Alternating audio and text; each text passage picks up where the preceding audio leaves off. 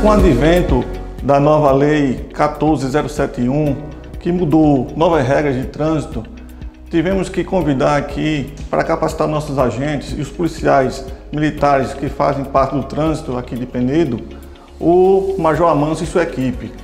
Para quê? Para que passasse as novas regras que foram estabelecidas no Código de Trânsito Brasileiro. Então nós temos 40 leis já que modificaram o Código de Trânsito Brasileiro e nós estamos aqui tentando repassar isso aí para os agentes, para que eles sejam mais capacitados, que eles aproveitem o máximo e que ele possa realmente colocar isso em prática aqui na SMTT Penedo. É, o prefeito Ronaldo não mediu esforços em contratar a empresa que trabalha com o trânsito, então está capacitando nossos agentes. Queremos isso para estabelecer o melhor para Penedo, crescendo junto com o seu povo.